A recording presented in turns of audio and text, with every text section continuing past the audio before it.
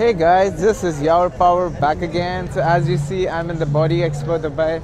And you know, one thing I've learned, you know, I've, I've met Markus Rühl, JFC, Raja, Sorigo, and I've met many more.